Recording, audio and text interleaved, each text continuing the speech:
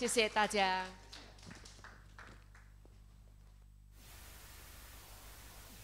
Testing one two three. Testing one two three. 好，我们亲爱的管长老、各位组内的长辈们、各位弟兄姐妹，大家晚上平安。我站在这边的时候，就感觉到，虽然不是第一次，也已经很多次在这边了哈，但是今天晚上感觉到有一点点的不一样哈。呃，到底是哪里不一样呢？后来看清楚，哎，好像你们离得我比较远一点哈。啊，是是这个椅子稍微拍了一下哈，但是没关系，各位，哎，吴医生有时候离你比较远，但是主耶稣离你很靠近，他就在你的心里面。他要保护你，他要医治你，他要祝福你，他要每一天都把你好像一个的孩子一样抱在他的胸怀里面。让我们信靠他，让我们跟从他，让我们顺服他，我们就能够同得这个平安。就正如刚才这个境外赞美队带领我们唱的其中一首的诗歌，耶和华向我们所施的意念是什么意念呢？是赐平安的意念。耶和华向我们所怀的意念是什么呢？他是要祝福的意念。耶和华向我们怀的意念是什么呢？是要保护我们的意念。耶和华向我们怀的意念是什么呢？是要把我们从百般的苦难、挑战、困难当中拯救出来的一个的意念。感谢神，我们一起来祷告。亲爱的天父上帝，你的孩子们在你面前，我们诚心诚意献上我们的敬拜。主啊，我们巴不得就能够像那些天使一样，围绕在你的宝座前，在你的荣光的照耀下，我们尽情的欢呼，我们尽情的跳舞，我们尽情的来唱诗，因为你是配得我们所敬拜、所赞美。主啊，当我们顺服在你的面前。当我们完全在我们的全人、全灵、全身、全意降服在你的宝座前的时候，求你再一次用你的荣光来复辟我们；求你再一次用你的医治的力量来复辟我们；求你再一次用你拯救的力量来复辟我们；也求你再一次用你的圣灵来浇灌、来恩告我们，以至于我们能够更加贴近你的心。天父上帝，我们这一段讲到听到的时间。我们就求你，就借着圣灵亲自来向我们说话。在我们人的言语里面，有时候有许多的限制，但是我们能够在你的灵里面，跟你有一个非常密切的一个紧密的一个的团契，以至于呢，你的意念能够毫无拦阻的就进入我们的心里面，刚强我们，让我们在这一个怪谬和一个罪恶充满的时代里面，我们能够因着我们被称为是你的子女，因着我们有耶稣在我们的心里面，因着有圣灵成为我们的保卫师，以至于我们能够在这个时代，我们能够高举耶稣基督的名。不单止如此，我们能够在我们每一天的生活里面，我们真的能够发光，成为盐，做主耶稣美好的见证。因此，这一段听到讲到的时间里面。求你亲自来激动我们的心，让我们感受你的医治，感受你的平安，以至于我们深深的能够体会到你的话语真是又活又真的。让我们顺服，在我们聆听的时候，你将要在我们的生命里面行奇妙的作为。我们如此祷告，是奉靠主耶稣基督得胜的名求的。阿门。各位，我们继续我们这个启示录去教会的旅程。我们把这个地图来放大的时候，这个地图就是当时第一世纪罗马帝国的一个的版版图。你看到那些粉红色的地方呢，就是那个时候呢，虽然只是短短的几十年。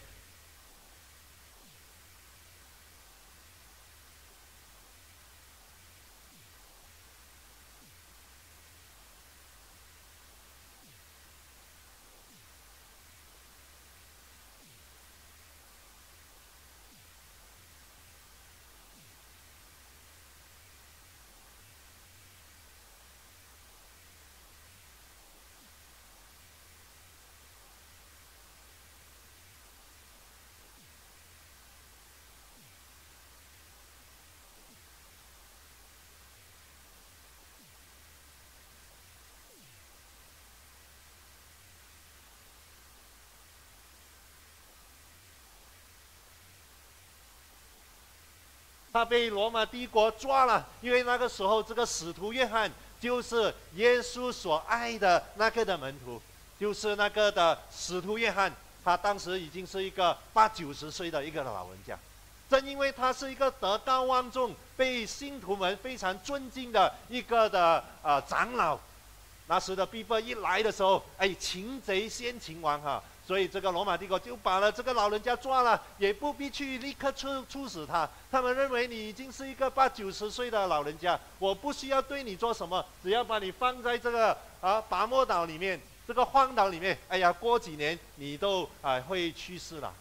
那个时候教会就是在这样的一个情况里面。他们没有了他们最敬爱的牧师，他们没有了这个当时还活着的唯一的一个的使徒，然后教会每一天都会面对逼迫跟挑战。各位，我所说的这个逼迫呢，不是打你一拳这么容易这么简单，这个逼迫呢，真的是生跟死之间的一个的逼迫。这个的逼迫也是生跟死之间的一个的选择。我们要继续相信耶稣吗？就继续在这种的逼迫苦难当中。如果我们不要相信耶稣了，可以平安无事的继续过一个良好罗马公民的日子。你要怎么样的一个的选择？就在这么的一个困难里面，有一天就是主日的时候呢，耶稣这个复活的耶稣，这个荣耀的耶稣向约翰显现。就写吩咐他，给他看到了一些天上的异象，给他看到了幕后世界、幕后还有新天新地将会发生的一些事情，给他看到撒旦魔鬼啊，还有那些逼迫教会、逼迫信徒的那些人，最后他们的下场是如何的时候，上帝就耶稣就吩咐他，你要把你所看到的这些异象呢都写下来，于是就成为我们手中，也是我们圣经里面最后的一卷书。启示录，然后呢，在第二章到第三章，耶稣又说：“你先写信给当时这七个教会。”我们已经走了，不知不觉时间过得很快。我们今天已经来到第五个教会，然后再一次第六，再一次第七，我们就结束这一次的这个旅程。我们巴不得在我们行走在跟随耶稣，也在研读查考这个启示录七教会的时候，神。向我们来说话。今天我们来到第五个教会，这个沙迪这个的教会。去年大概是这样的一个的时间，然后我就带领了大概有三十位的弟兄姐妹。那一天我们就来到这个沙迪古城的这个山脚下的平原，我就在那边跟他们讲解，特别是今天我们要查考的这段的经文，起初的第三章第一节到第六节，我跟他们讲这个。特殊的一个的地理位置，我跟他们讲这一个的啊历史一些发生在这边很重要的一些的历史事件，然后我们来查考圣经，因为这个对我们理解这一段的经文呢是非常非常重要的。大家看到这个的照片，这一个就是当时那个的沙迪，沙迪城呢分为上层跟下层，下层就是一般平民老百姓。就在山脚下啊，他们就是安居乐业，他们就是在那边每一天这样的啊过一个日常的生活。上层呢，上层就是当时的那些的高官总督，甚至是皇帝，还有那些的贵族、皇亲国戚住的一个的地方。有时候敌人一来的时候呢，下层的这些的老百姓就会逃到去上层那边。大家看到这个非常特殊的这个的地理位置，主耶稣。他知道这个城里面所发生的全部的事情。然后我们来看这个启示录第三章第一节到第六节。我邀请你奉耶稣的名打开这一段的经文。启示录第三章第一节到第六节。然后我们不单只听，我们用眼睛看，然后我们用心里面来感受这个圣灵要透过他当年。大概是两千年前跟萨迪教会所说的话，今天要跟我们说同样的一个的话。我们从那边来学习，我念给大家听。第三章第一节开始，你，当然这一段话就是耶稣所讲的，他就吩咐这个老人家，八九十岁的老人家，你要写信给萨迪教会的使者说，那有上帝七灵和七星的说，我知道你的行为。安民，你是活的，其实是死的。你要警醒，兼顾那剩下将要衰微的，因为我见你的行为在我上帝面前没有一样是完全的，所以要回想你是怎么样领受，怎么样听见，又怎么样又要遵守，并且要悔改。若不警醒，我必临到你那里，如同贼一样。我几时临到，你也绝不能知道。然而在杀敌，你还有几位是微尘污秽自己衣服的？他们要穿白衣与我同行，因为他们是配得过的。凡得胜的，必这样穿白衣。我也必不从生命册上涂抹他的名，且要在我父面前和我父忠实者面前认他的名。圣灵像宗教会所说的话，凡有耳听的就应当听。特别是最后一节，圣灵像宗教会所说的话。是这封信是写给当时这个萨迪教会的，同时也是给属于耶稣的众教会，从古时到今天啊。所以这么说，凡有耳的就应当听。我们不不要把圣经啊把它合起来，继续把它放在我们的手中。那我们继续在这段的经文里面看看，为什么耶稣对这届的教会发出这么这么激烈、这么严厉、这么严肃的一个的责备呢？主耶稣知道这个城市过去有一个很辉煌的历史。各位，这个的沙迪，刚才你看到的照片，它有一座的山，山下面都是平原。这个沙迪呢，在古时候呢，是当时五条主要的公路在汇集的一个的地方。啊，简单来说，它就是一个交通非常便利的一个的地方。各位，如果交通很便利，自然而然就成为一个。商业的中心，大家都从不同的地方来做生意。来做生意的时候，有有赚钱的机会，有发达的机会，有讨生活的机会，自然而然人就越来越多了。那个时候呢，这个沙迪城市呢，就成为一个的商业中心。而古代这个吕底亚王国的首都就建在沙迪这边。不单止如此，各位，在沙迪那个的山下面有一条的河。那条河在古时候呢，是出什么的呢？是出金的，在那边随便去弄一下，哎，就可以淘到一些的金沙。据说今天金非常的贵，对吗？哎呀，那边呢，那个时候几乎是随手可得了，就在河那边淘一下，就有一些的金沙了。各位，古代的金币 （gold coin） 是在沙迪这个地方来发明的。哎呀，我们。啊，去年去的时候哈，我就开玩笑，哎，大家可以去看看呢。有机会的话，你可以淘到一些的沙，没有了哈，没有金沙了哈。但是那个时候，沙迪就成为当时世界一个非常非常富有的一个的城市，因着它的特殊的地理位置，因着它的交通的方便，啊，因着这个它这条河生产金沙，然后呢，这个城市呢。还出名什么呢？著名是出产很优质、很优良的羊毛的衣服。当我们看到那座山的时候，你就看到为什么他们要把商城建在上面呢？原来这座山呢，在四面这座山的四面，东南西北都是非常斜，几乎是垂直的一些的悬崖。下面的人呢？很难爬上去，因为都是很滑的那些的石头，没有长什么的树给你拉着拉着爬上去。所以呢，把这个的城，把这个的城堡建在这个山上面呢，几乎就是一个固若金汤，然后呢易守难攻的一个的非常坚固的堡垒。在上面的人感觉非常的放心。在上面的人感觉到非常的有安全感，在上面的人呢，就是每天吃喝玩乐享受，因为呢，敌人是不可能，敌人是不可能能够攻得上来这样的一个非常险要的一个的山上的堡垒。各位，这个真是杀敌人从古代一直以来他们的一个的骄傲，但是历史。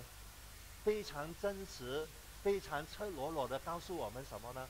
这样一个这么坚固的堡垒，这么富有的一个的城市呢，它在历史上有两次被敌人用同样的方法攻上去，结果城破国家，国破家亡。主前就是主耶稣诞生之前，大概五百四十九年，那时是波斯帝国，波斯帝国的军队呢就来到这边了，这边呢就是波斯，他要攻打希腊的一个中间的一个的地方。波斯帝国很想把这个城市占领下来，然后就以这个城市成为他们继续将这希腊进攻的一个的据点。但是围着这个的城啊，围了很久，攻不下来，因为都说了爬不上去。哎呀，他们在山脚下看着上面，就是干着急，没有任何的办法攻上去。但是有一天，在山脚下的这个波斯的其中一个的将领，他偶尔就发现到上面呢。那个的那个的兵呢？他的头盔跌下来了，就跌下从城墙那边跌下来。后来呢，又发现他又怎么样能够又把那个的头盔啊，又又能够射起来，又带回去城墙上面呢？他们就在想，一定有一个的暗道，一定有一个的通道可以上到城那边去了。所以呢，在晚上的时候，这个的将领就带了几个士兵，不是一大堆士兵，几个，趁着晚上。哎，真的找到了那条的通道，然后他们攻上去的时候，他们发现一件非常奇怪的事情。他们发现，即使已经是晚上，一个守卫的兵都没有啊。于是他们非常容易的就把这座被称为人类当中最难攻下的城堡呢，不费一兵一卒把它攻下来。为什么会一个守卫的兵都没有呢？他们太自信了，他们认为敌人是不可能来的，所以不必防守。这件事情发生在主耶稣诞生之前五百四十九年，大概过了两百多年。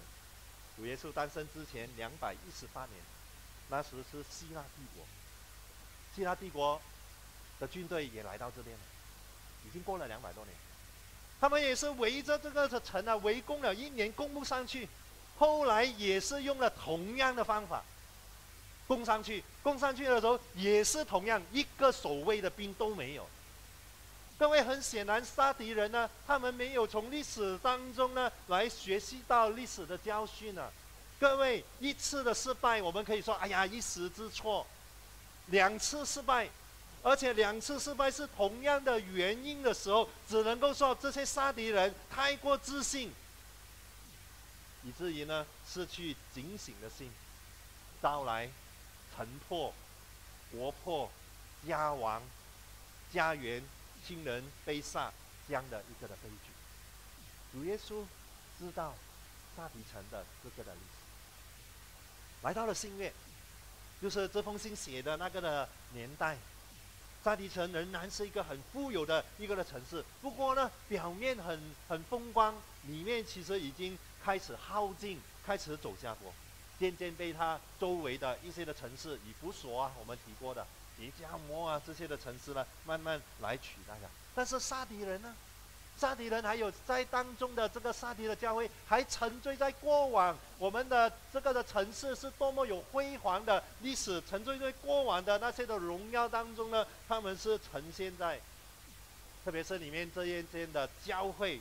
根据这几节经文的一个的描述，主耶稣责备这个的教会是一个呈现散漫、自满、失去活力，甚至是正在死亡的教会。这个也许是这七封信里面，主耶稣把话讲的最严厉的。主耶稣说什么呢？主耶稣啊，第二节。或者第一节的下半节啊，按表面看你是活的，但是实际上是死的。我看见你的行为在我的神面前，没有一样东西呢是完全。各位，我们真很难接受，如果有一天耶稣是这样责备我们的话，哎呀，看起来你是活的，哎呀，侍奉又多，啊，又热心，又很熟悉圣经。站在讲台滔滔不绝，讲了就好水多过茶，又不要下去。但是耶稣说：“我知道你内在的情况，其实你是死亡的。”我们说耶稣哪里有我比很多人好的多了？耶稣说：“我知道你的行为啊，没有一样在我神面前是完全的。各位，这个对在沾沾自喜、失去这种属灵警醒的沙迪教会，是多么残酷的一个的宣一个的宣告啊！想象我们是当时听见的那个人，听在我们耳朵当中，我们是多么难接受啊！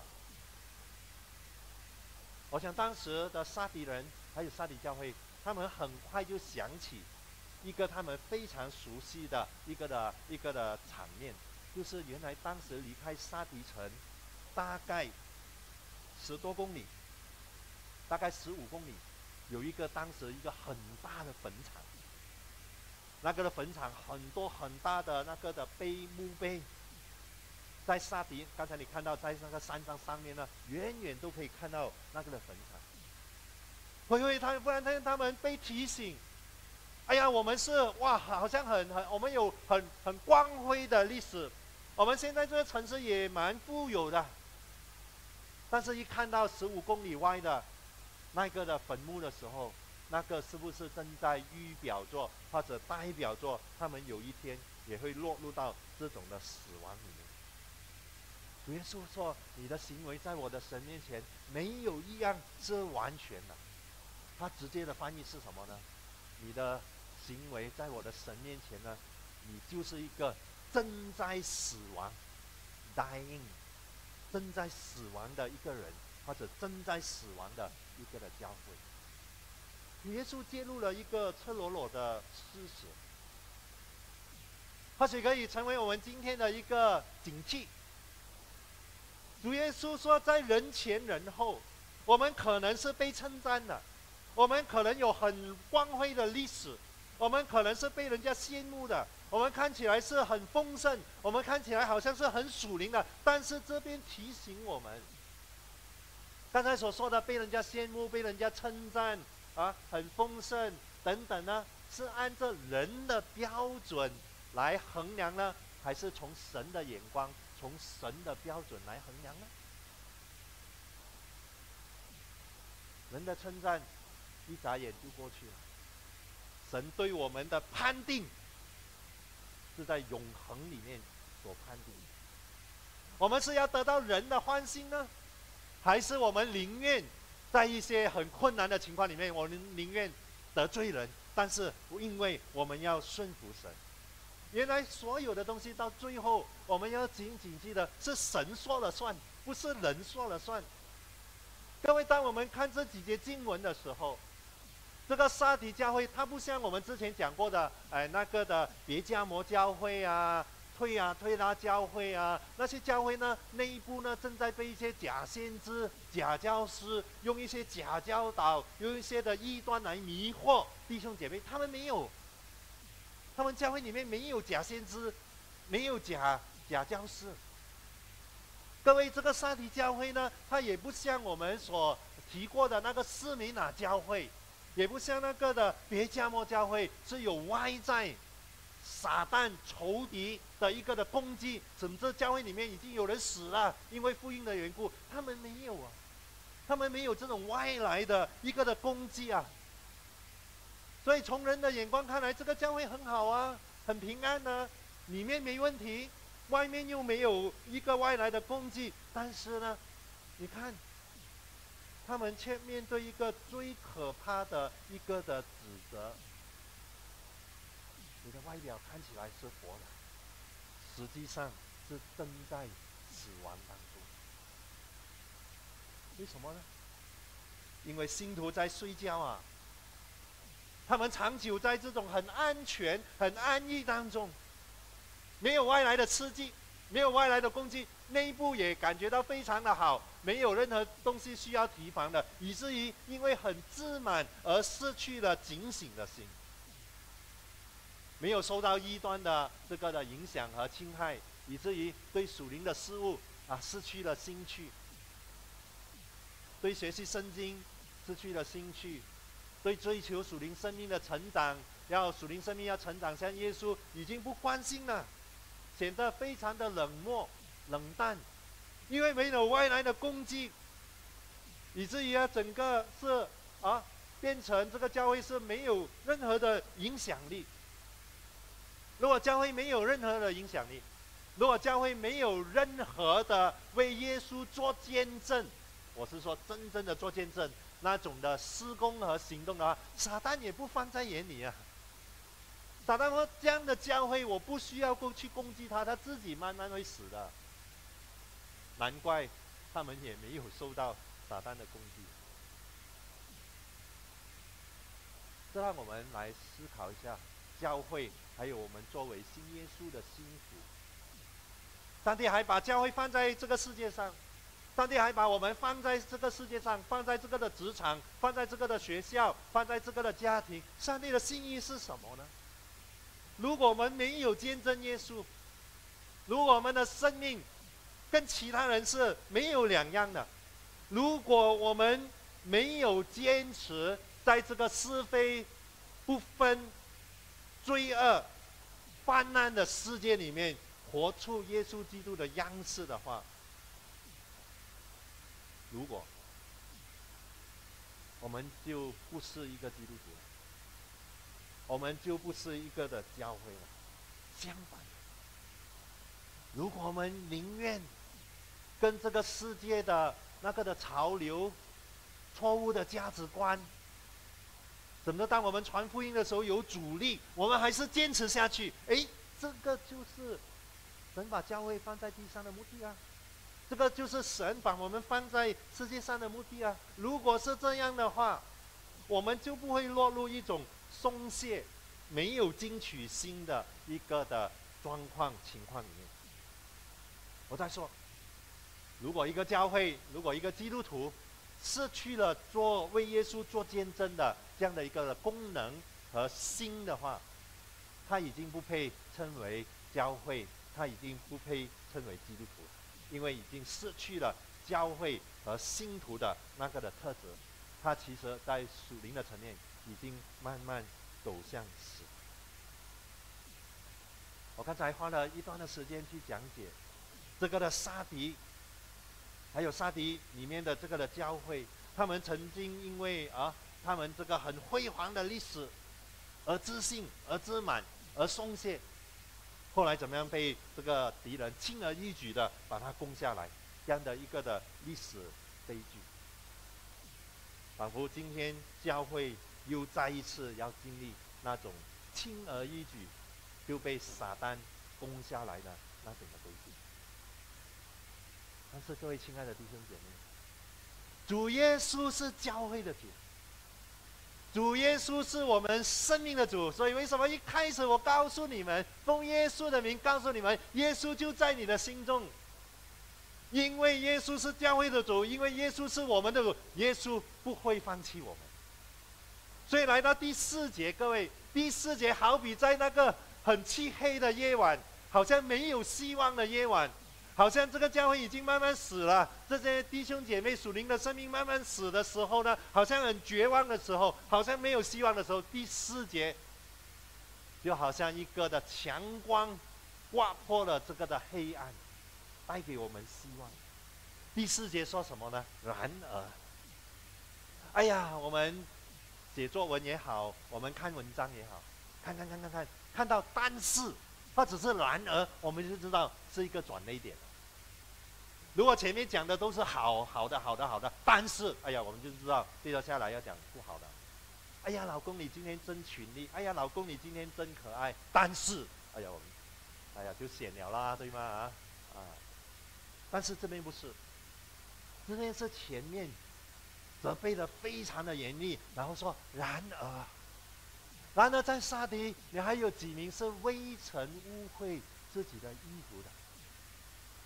他们要穿白衣与我同行，因为他们是配得过。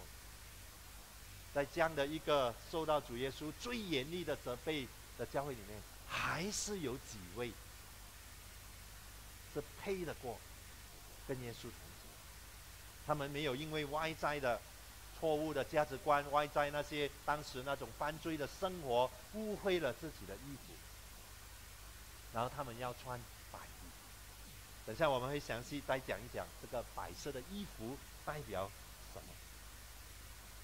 未曾误会自己的衣服的，原来当时呢，在一些庙偶像的敬拜里面呢，是需要穿干净的衣服的哈。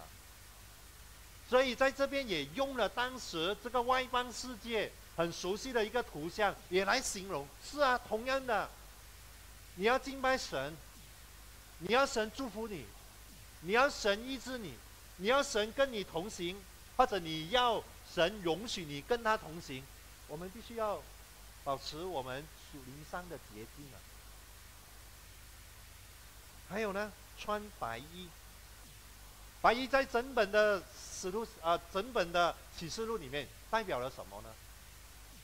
其实，在保罗的书信里面也有提啊，它是代表了主耶稣，就是这个启示录所讲的被杀的羔羊所成就的那个的救恩，就是好像一个的白衣，他要披在那些的信徒的身上，而且这个白衣是代表了得胜。这个濒临死亡的这个教会还有希望啊！因为主耶稣是教会的主，他是复活的主，他可以把新的生命、更新的生命赐给这个快要死的教会，也赐给一些快要死的基督徒。耶稣从来没有放弃过我们，所以在第一节他就讲了，这个有上帝七星、七个星星的这个的耶稣这么说。哎呀，我们又翻回去启示录第一章。当约翰看到这个耶稣的这个的意象的时候，就看到他的手上是拿着七个星星的。我在那时候已经讲过了，这个拿呢不是随便这样拿住而已，这种的拿呢是紧紧把它握在手里面那种的拿。七颗星星代表什么呢？哎呀，在启示录第一章也有解释的，七颗星星就是代表了七个教会的使者，或者是其实就是教会。主耶稣紧紧的把他的教会握在他的手中，主耶稣要保护他，主耶稣要提醒他，主耶稣要更新他，主耶稣要把生命，而且是复活的生命赐给，所以他就为教会提供一个的出路啊。我们来看第三节，所以同样的这个连接词也让我们知道，前面讲了。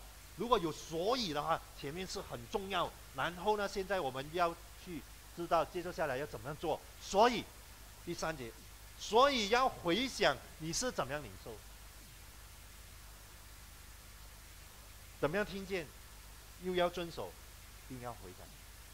然后回想当初为什么我我要信耶稣，要回想当初我流着泪。我心里面被圣灵的一个的激动，以至于我说：“主啊，我需要你，我要你成为我的救主。”回想、悔改、遵守。你看，耶稣没有把那些更加重的东西、更加多的东西叫他们做啊，没有啊，做回以前当时是怎么样决定要做一个基督徒的，继续保持，继续保持就好。各位，让我们看这个。方程式啊，这个 formula，这个 revival formula，这个的复兴的方程式，回想、悔改跟遵守。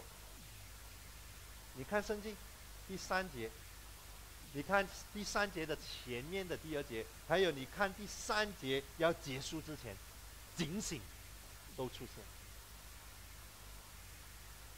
意思说，当我们要去实践这个的 revival formula，这个的复兴方程式的话，用什么态度呢？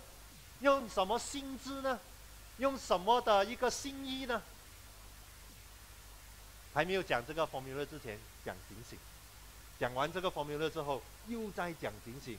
很明显，耶稣告诉我们：如果我们的教会，如果我们自己要经历主耶稣的一个更新跟复兴的时候，警醒是那个落实。或者时间的一个关键的一个的态度。事实上，各位，所以为什么我要你把圣经打开就是这样？我们时常就会回到圣经里面。事实上，主耶稣对沙迪所说的第一句警戒的话，就是第二节那边，你要警醒。这个是，你看还没有讲其他的东西的时候，你要警醒。这个正如，哎呀，当当头棒喝打在他们的头上，他们很沉醉。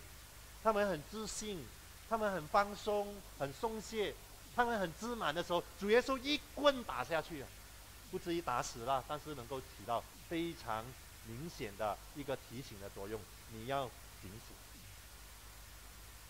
忽然间，他们就想起，他们实在在这个沙迪城忘不了的那个的历史的教训呢，就是因为不警醒，认为不可能被攻破的城堡，就轻易两次被攻破。各位要警醒，这边呢，在原来的意思里面是不断、持续不断的一个的动作。因为呃，这个的希腊文跟我们的英文有一点相似啊，它总之它比英文更加的精细。我们英文有 past tense，有 present tense，有 continuous tense 啊，就是啊以之前做的动作啊，然后现在正在做的动作，正在做的动作和以后要做的工作 future tense。这里啊类似英文里面的那个 continuous tense，就是呢你要持续不断的，不是今天感觉到哎呀主提醒我。就算你过得很顺利的时候，也要持续不断。哎呀，困难来了，持续不断。总之就是一个持续不断的一个的动作，持续不断的一个的态度呢，直到耶稣再来。警醒！各位，我告诉大家，主给我们的教导，或者说说圣经里面。新约圣经里面给我们的教导，没有比要警醒出现的更多了。换句话说，在新约里面要警醒这个教导呢，是出现的最多次，是最主。我们很关心世界末日哈，其实我不喜欢我在教导圣经的时候，我不喜欢讲世界末日，因为对我们基督徒来说，世界末日不是末日。对于我们基督徒来说，世界末日是神做的一个的审判，然后对基督徒来说，我们还有新天新地。但是很多人就把焦点放在世界末日啊啊等等啊，什么大灾难啊等等啊。好，当然那个也重要。所以主耶稣在这个马太福音第二十四章、二十五章的时候，他们讲他他就讲了很多世界末日。要发生的事情，国要攻打国，民要攻打民，到处有地震、饥荒等等的时候，耶稣说要用什么心态来面对这个的所谓的世界末日，还有主耶稣再来呢？他结束这个的讲论之前，他一口气讲了这四个的比喻。我们没有时间在今天晚上哇每个比喻去讲，但是大概我深信你都听过的。这四个比喻，一个的中心的思想是什么呢？警醒。同样的，在马可福音里面这一段经文，也是讲到末日的时候，讲到耶稣再来的时候，你看短短几节经文，警醒、警醒、警醒，出现很多次。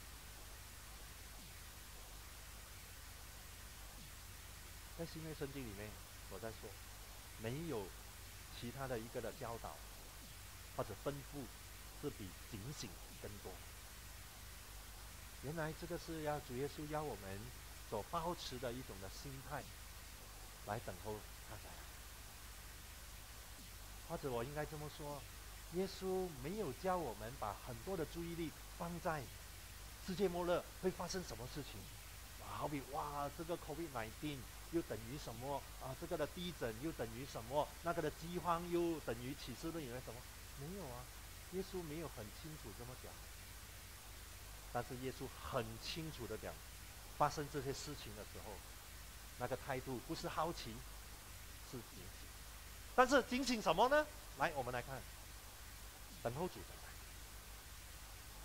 耶稣说：“我来的时候好像贼一样啊！”哎，我们不要直接就讲哇，耶稣是贼啊，耶稣是小偷啊，不是。这里的意思说，耶稣几时来，就好像。小偷或者贼几时来一样？各位，你知道贼几时来吗？不知道。因为不知道，所以我们每次晚上一定要锁好门啊，锁好窗口啊。如果家里面有 alarm 的话，开 alarm。哎呀，我还记得，特别是我的孩子还小的时候，有时出远门去到国外，最放心不下。哇，打电话，哇，叫他们哎，check 好来，check 好来，门窗全部要关好，alarm 要开呀。然后吩咐我的大女儿，啊，她比较大，比较懂事嘛，哎，提醒妈咪一定要开 alarm 哈。哎呀，一个女人带着两个女孩子，就在我们这样的一个国家，哎，治安不会太好，真太担心了，因为我们真不知道小偷或者坏人几次来哈。耶稣也用了这样的一点，不知道几次来。耶稣说：“我也不知道哈，只有一个人知道，或者只有天父上帝知道。所以，如果今天某某人跟你讲啊，某年某月啊，耶稣来了，直接告诉他你是假先假假先知，或者说哇，你很厉害，你比耶稣还厉害，因为耶稣不知道，他知道。所以，各位，正因为我们不知道，也正因为耶稣来是一个一定的事实，因为启示录结束之前三次哈。”耶稣说：“我必快来，我必快来哈。”然后约翰回应：“主啊，我愿你来哈。”为什么三次呢？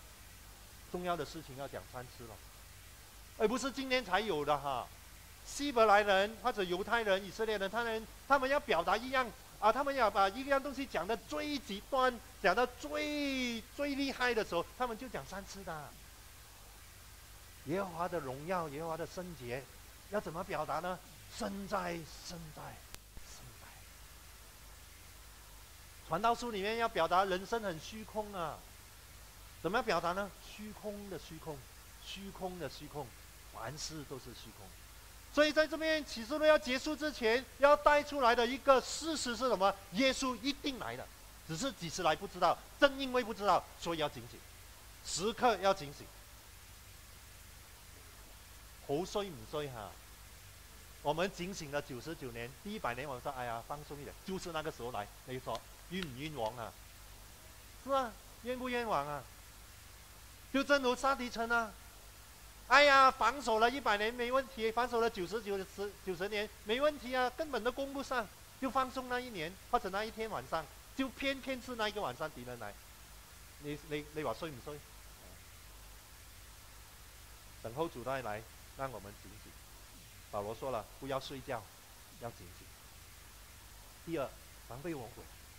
特别是在彼得前书这里说什么呢？他形容魔鬼，形容的最透彻的。他说：“这个撒旦魔鬼，我们的仇敌啊，遍地游行，寻找可吞吃的人。意思说呢，他啊，好像一个吼叫的狮子，遍地游行，这样到处走，寻找什么呢？寻找可以可吞吃的人啊。那些警醒的，他吞不下；哎，那些松懈的，他一口咬下去啊。”食人肋骨就是讲这边，一口吞下去，骨头都不吞不吐出来哈。各位，让我们不要成为撒旦魔鬼的这个的目标，时刻警醒，奉主的名来抵挡他。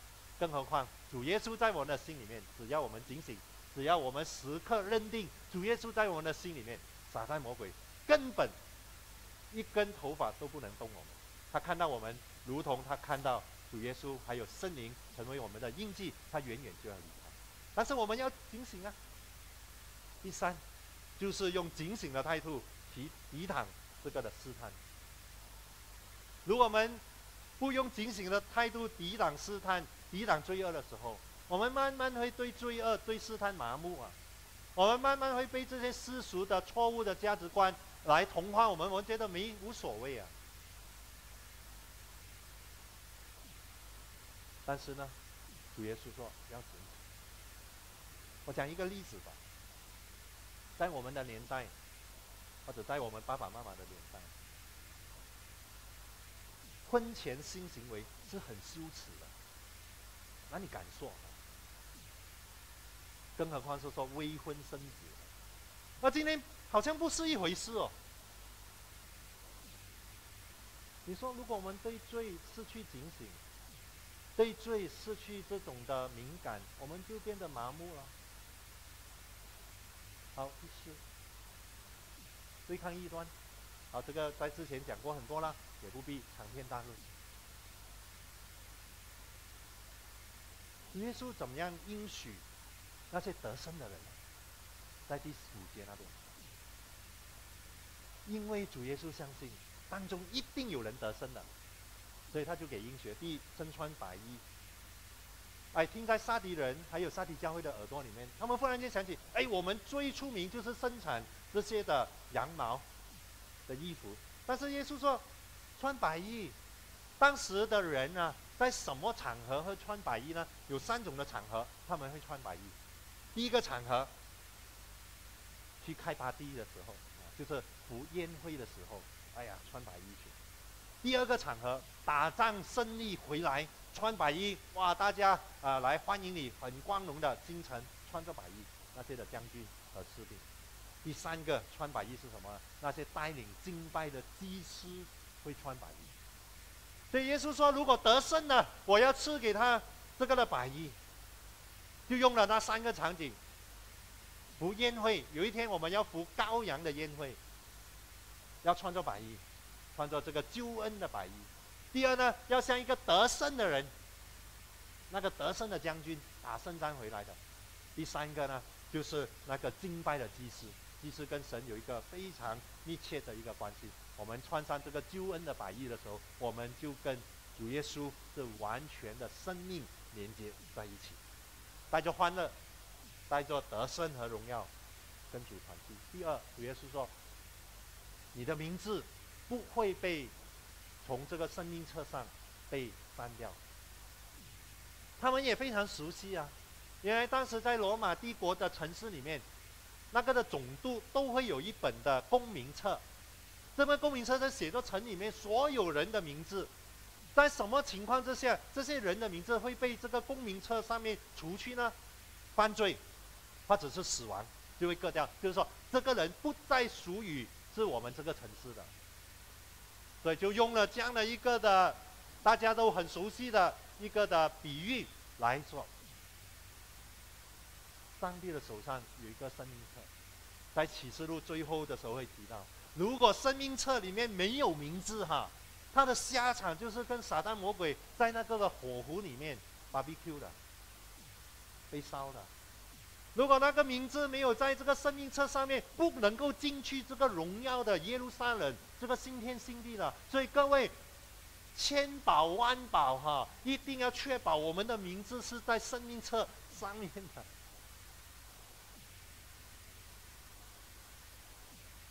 最后，主说：“我要在神面前，我要在众天使面前。”他的意思就是说，我我我邀请神呢来。我的父哈，我邀请他成为见证人。我邀请众天使成为见证人，我要在他们面前认你。这让我们想起主耶稣在福音书里面曾经讲过的一句话。他说：“不是那些凡是称呼我主啊、主啊、主啊的人，都能够进天国。”他说：“那个时候有人说主啊，我不是奉你的名赶鬼吗？”主啊，我不是奉你的名义兵吗？主啊，我不是奉你的名，我多么的心的侍奉。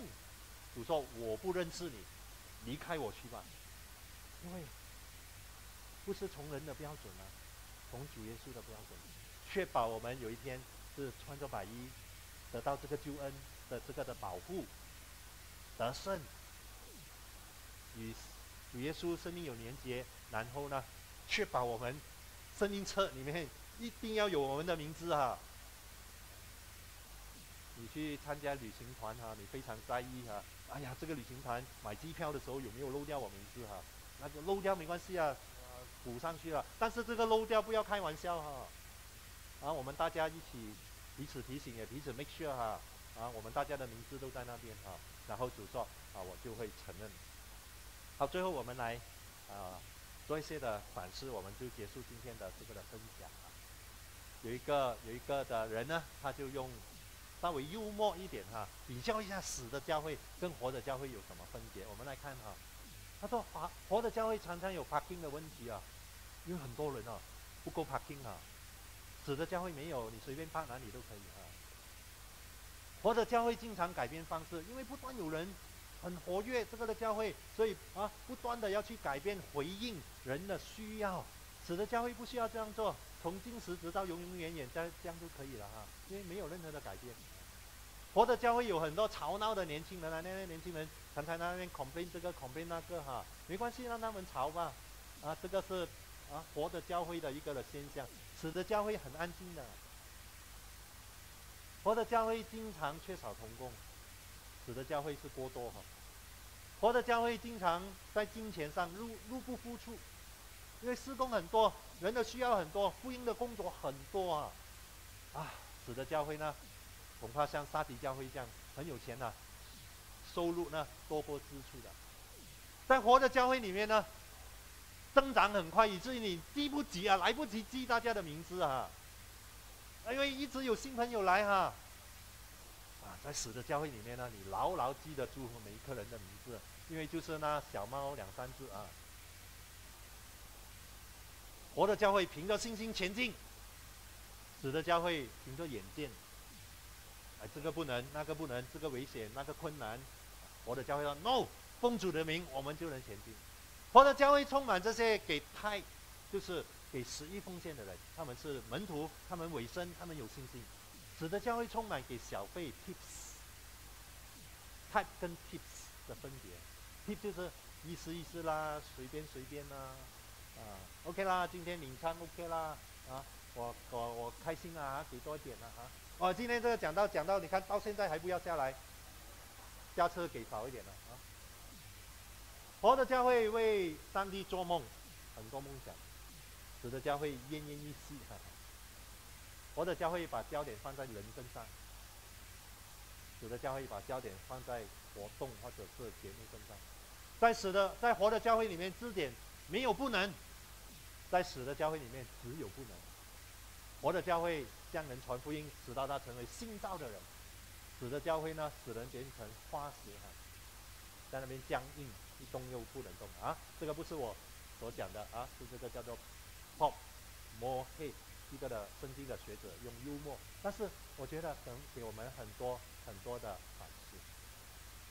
今天在沙迪一个的角落有一个死的教会，这个教会已经没有人聚会了，我们就去到那边也回想这段的经文。但是我深信，就正如这里第四节讲，只要只要我们。信靠耶稣，他说在沙迪里还有几位是未曾污秽自己衣服的，他们要穿白衣与我同行，因为他们是配得过的。我们深信，礼拜堂可能因为历史啊各方面或者人的软弱被废置，但是只要我们坚持，我们心中有耶稣这个复活的耶稣，我们与他同行了，死的教会也可以再次因为主耶稣基督的复活再次。成为活的教会，这是我们的宣告。我们来祷告，亲爱的天父上帝，求你施恩怜悯我们，让我们不要在舒服的环境里面，我们过于自信。